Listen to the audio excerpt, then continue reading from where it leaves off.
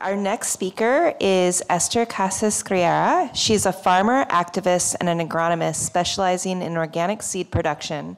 For the last 15 years, she has been the coordinator of Les Refardes, an organic artisan seed cooperative. She's an active member of the Red de Semillas, where she focuses on analyzing legislation and public politics that affect agricultural biodiversity. Please welcome Ester.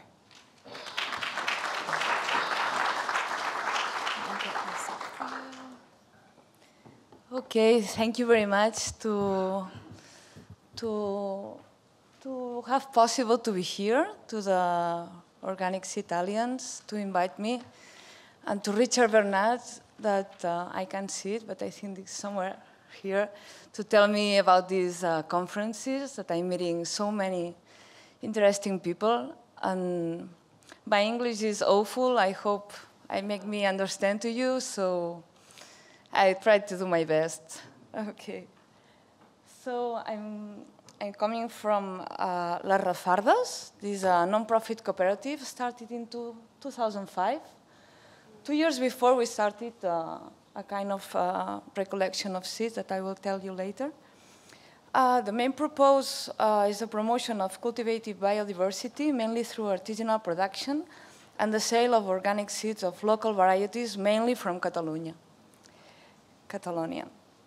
Uh, the financing comes mainly from the selling of the seed, 75%, more or less. Uh, we also do training activities, workshops, courses, uh, trying to give the skills to the people, farmers or gardeners to keep their seeds. And also we, we do some job of uh, vari varietal characterization. And we have some grants for that, but few things. Uh, all the, the activities of the the cooperative are developed by working by four working partners with the same salary we have. Uh, the things that we do all together, it's planning uh, the field work, sanitary control, agronomic and organoleptic evaluation, accompaniment and involvement the farmers and collaborators network. We do also the germination control, seed cleanings, packagings, all these things that you know uh, we have to do the people who produce seeds. So um, the, the farm that, that I work personally, uh, we are doing this, this year we, we get to do the 50% of the production. At the beginning we did the, the 100%. We did the, all, the whole production. But slowly, slowly they, uh, they are farmers who have uh, interest on, produ on produce these uh, heirloom seeds. And they have been adding slowly to the cooperative, looking for a complement to their incomes through selling, through seed selling, because they are mainly dedicated to organic vegetable production. And all of them are, they value their products through direct selling into the local markets, consumer groups, and cooperatives. And they uh, are selling these heirloom seeds, and they are uh, doing just uh, maybe 10, 15% of the, their incomes are for seed production. These farmers are progressively being trained and empowered to become self-sustainable on seeds. Uh, we are coordinating this group of uh, these 18 farmers uh, with the plan of productions and joins the visits to the, to the farms looking for a good selection and optimal seed health. And at least once a year, this, these years lately, we're meeting two, three times a year, but uh, we meet to value the campaign, agree the seed prices, that is a, a big issue. Yesterday we, we talked about that a little bit with the Willamette Valley visits. Uh, remind the way that they should be delivered, uh, which varieties they should be multiplied, technical travel or successes. So, and this, this network is distributed in the, in the region of Catalonia that is about uh, one-eighth of Oregon. So it's a very small region that we are spread out. So the, from where are coming these seeds? Uh, the seeds that we are, we are doing, we are multiplying are, are coming, have been prospected from the traditional farmers, mainly from Catalonia. They have preserved and been selected them from generations. So uh, about 2003, we started uh, uh, this uh, uh, step of going around the Catalonia and going to meet these farmers. And also, as Sarah said, they, they also, they, we always ask them, oh, okay, maybe if we like, if it's well adapted and this, we, we want to sell the seeds. And they are so proud. They are, at the beginning, is like, but yes, you are interested on that, but it's something very old, nobody are interested on that. Maybe their daughters or son, they are rejecting on that varieties, no? And it's like, it's difficult to understand that we have interested on that, no? So, and in the, in the package, we always put the name of the person who gave us the seed and the, the town or the name of the farm that they are. They are kind of super proud of being part of this project or being this spread action. No? So a part of giving us the, the, the seed, no, the genetic material, they, they are giving us so uh, important information, all the knowledge relate, related to that seeds. So how to grow, how to keep, how to do the conservation of these varieties, and also how to cook them. So it's, it's really very important, all this conversation and talk with these wise people that they have so much important information. No? So uh, we, during all these years, approximately, we have identified and cultivated 500 varieties, more or less, of 66 different species. And we are trying to involve not only the farmers, cooks, uh, nutritionists, consumers, everyone who has interested on that. So in Spain, we have a, uh, the problem that we have a very important lack of supply of organic seeds. So uh, the use of organic seeds and seedlings is mandatory for those registered on the certification of organic farming. So I imagine us here. But uh, the creation or continuation of micro enterprises dedicated to the sale of local varieties adapted to organic farming has not been facilitated at all for the government, for the laws that are existed right now. And we are living a big, a great paradox. No?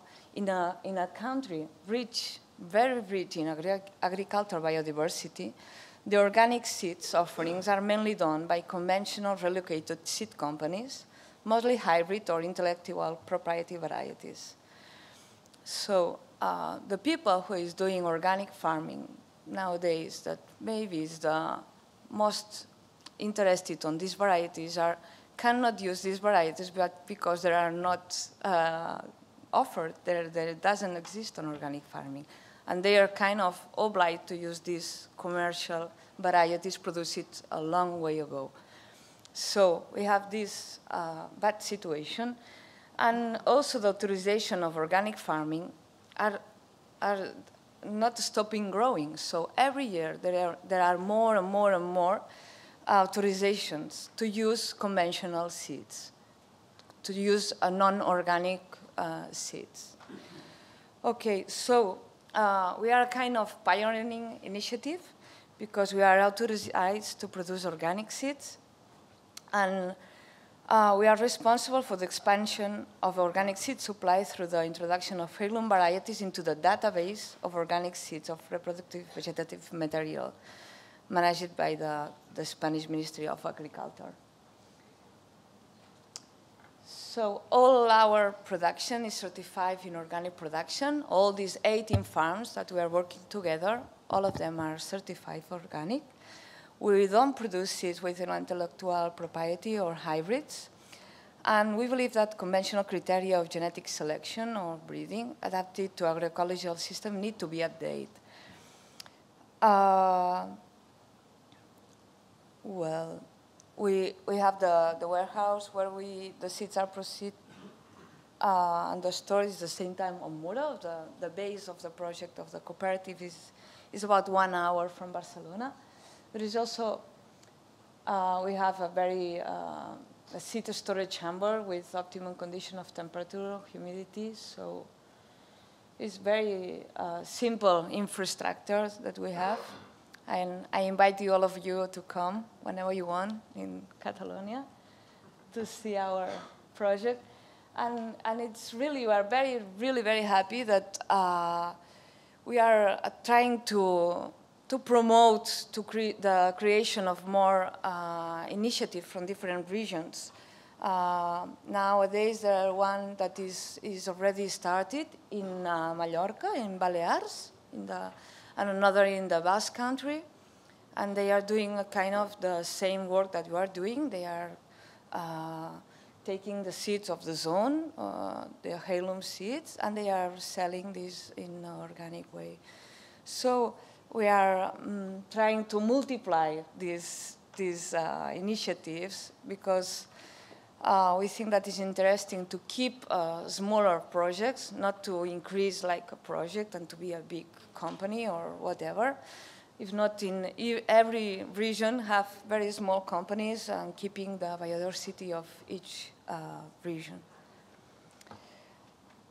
Uh, so uh, another very important part of our work is to to, to spread the, the knowledge and how to keep the seeds, how to, how to uh, do the valorization of the local varieties. No, we, we did, we promote a lot of uh, seed swap, I, swap, I don't know if I pronounce well.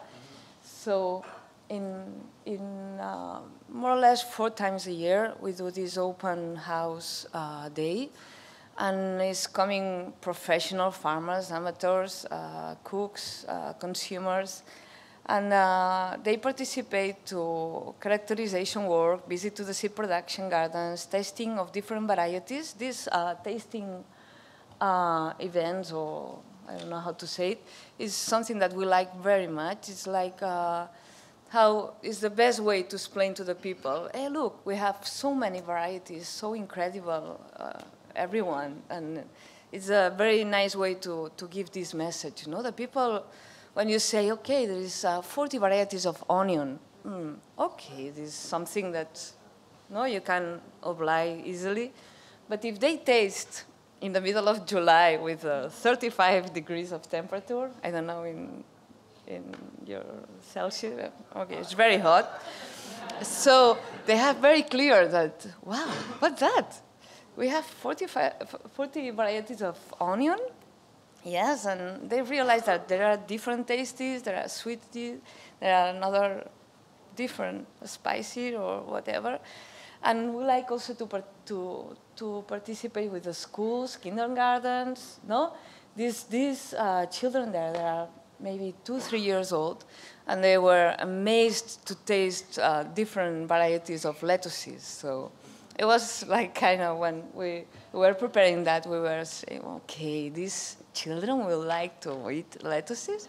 So, but they were crazy, like, wow, they throw into the plate, like, no, and I don't know. I think that this message maybe arrived them, no? And it's nice, it's nice. And also we did some, uh, this cabbage, uh, not very attractive at the beginning, no? Uh, cabbage, onion tastes and but, but yes, it works very well, and we like it to do it very much. So a part of our job of producing and to doing these uh, workshops and these tasting events, uh, we are involved in uh, many networks. At, local level, in the region of Catalonia, we have a, a network uh, now is a federation, and we, we are 11 community seed bank. And maybe all of us together, we are, every bank is maybe uh, conserving and multiplying 500 varieties of Catalonia. So it's a kind of incredible richness that we have all together. And we were working very locally in, in Catalonia and doing this kind of promoting, no, this these are some pictures of them. So uh, who, there are people who is uh, specialized on wheat, on cereals uh, to do bread, and others with tomatoes, and others with uh, wild weeds that we don't eat. And to, to spread this knowledge of the wild weeds you can eat as well. Other with fruit trees. Um, then we are also very involved on the network uh, at Spanish level, at uh, Red de Semillas, Sembrando Intercambiando. Um, at, at, this level, we work very much with this uh, to promote more initiative uh, to, to, be, to begin. And also we are trying to, to pressure the central government to, to change a little bit the, the law, how it is now, or the policies that they are applying that we think that are not enough to promote the biodiversity. So we are kind of doing these uh, things. No? Also, we are, uh, we are connected with uh, an European level with uh, Croqueurs de Carotte. Uh, that is a kind of, um, I don't know, biting um, carrots. Uh, this, this association is about uh, seven or eight micro enterprise network that now is uh, in a moment that we don't know if we, if we go forward or backward, but is there, and we had uh, met many times, we had it changed so many things altogether, because there is this size of uh, projects and enterprise that you can interchange many things, no? Like as yesterday I went to Sarah's house, I was oh, I want to ask so many things, the way to change, the way you separate things, or the way you organize your protocols and all these things. No? So it's, it's really very nice, uh, the interchange of information that we, that we do. No? And also at a European level, all the, um, the, um, the networks of uh, seeds, uh, mostly in France and Italy and Spain, are the, the the groups are participating, participating the most. Uh, we celebrate every year the Let's Liberate uh, Biodiversity. It's a kind of seminar that uh, there are talks, uh, seed swaps, and all these things. And it's going to be on May, so in Italy. So maybe you can come there and you will see what we are doing in Europe. Mm, uh, to finish, I would like to say that uh, the way that we sell the seeds. Uh, we are mainly uh, selling by our website. And, uh, and then also we do some markets, and we have some racks in about 20 stores in Catalonia always. I think that we are, we are selling our seeds very locally. 86% are sold in the region of Catalonia and the other in the in the neighboring regions. So it's very locally interested. Even our web, our website and our packets are uh, written in Catalan, so um, it's we don't put it very easily to spread out our uh, region. We are not interested on that. So um, actually, we are practicing practicing civil disobedience since the 70% of varieties we offer are not in the government's officially accepted in the catalog of varieties. So uh, we think that the law it doesn't, doesn't make any sense for the moment. So we decide to go straight and to, to do this. So maybe one day we will change, we don't know. So that's our proposal. Uh, and that's it. Okay. Thank you.